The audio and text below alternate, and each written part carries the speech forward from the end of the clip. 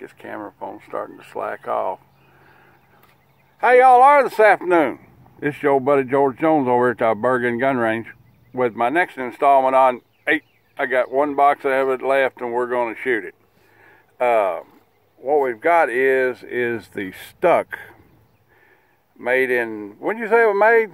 Uh, 78. 70 yes yeah stamp 78 uh, 1978 production East European 7.62 by 39 training ammunition. I think they designed this to shoot on indoor ranges. Anyway, a lot of this come into the country back in the early 1980s.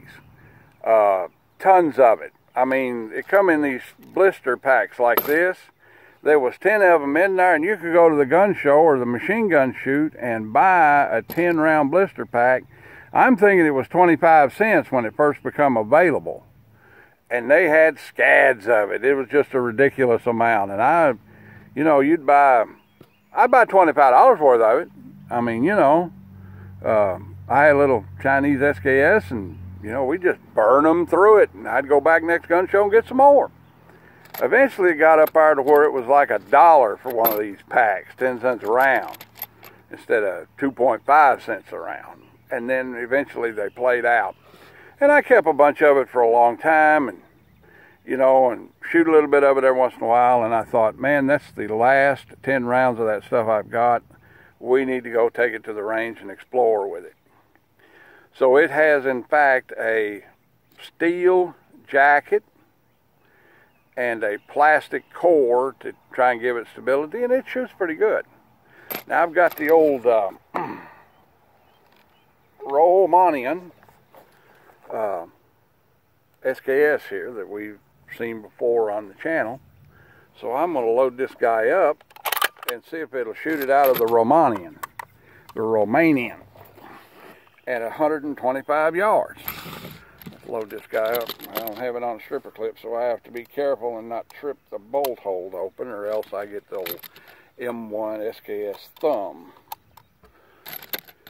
And we put the 10 in there, and there's three. We're slowly loading. There's the reason why I save stripper clips. Got a lot easier.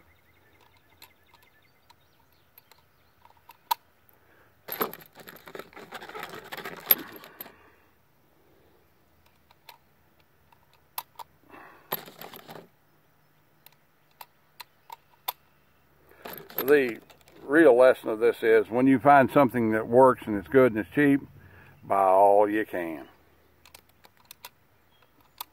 If I'd have knowed then, I'd have gone to the bank and took out a second mortgage against my truck or something and went and bought the whole damn country full of it. Because at the time it worked pretty good. All right, we got this guy loaded up with 10 rounds. The last 10 rounds I know of of this ammunition and we're going to give it a try at the old 125 yard hanging steel silhouette and see how we do. When in battery.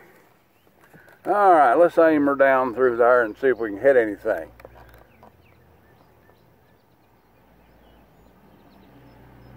We've got it on, we got it on the 100 yard zero setting. Let's see if we can hit anything with it.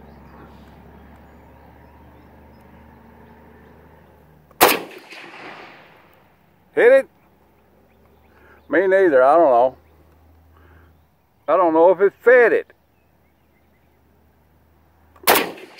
Hit it.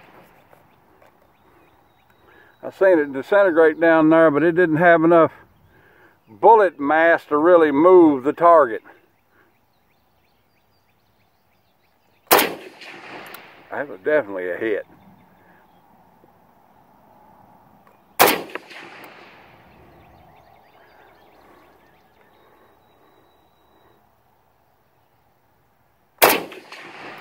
Okay.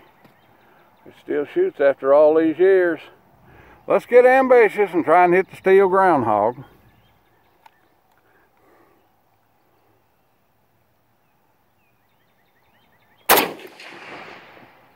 By God, it hit it, didn't it? it's just swinging back and forth.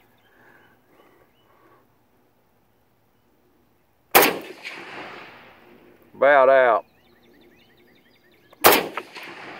Hit it again.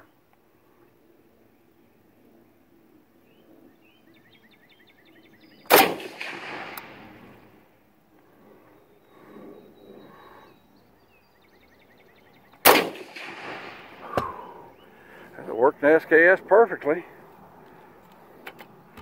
Well, I'd like to talk about it more than that, but I don't have anything to hold up. this round that I used to have.